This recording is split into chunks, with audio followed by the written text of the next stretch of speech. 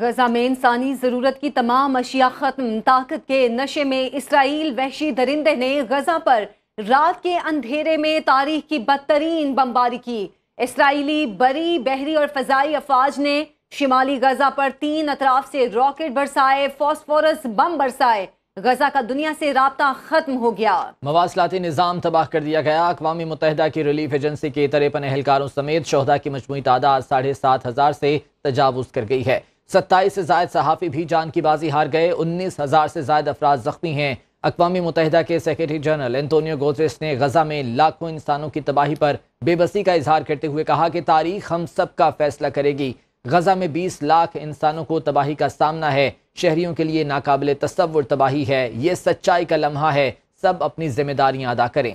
ادھر اسرائیل نے اقوام متحدہ کی سلامتی کونسل میں جنگ بندی کو رد کرتے ہوئے کہا کہ حملے جاری رہیں گے۔ طاقت کے نشے میں اسرائیل ویشی درندے نے غزہ پر رات کے اندھیرے میں تاریخ کی بدترین بمباری کی شہادتوں کی مجموعی تعداد ساڑھے سات ہزار سے زائد ہو چکی ہے۔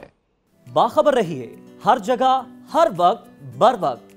ابھی سنو نیوز کا یوٹیوب چینل سبسکرائب کریں اور بیل آئیکن پر کلک کریں۔ اور جانیے، ملکی اور غیر ملکی حالات و واقعات یقین کے ساتھ۔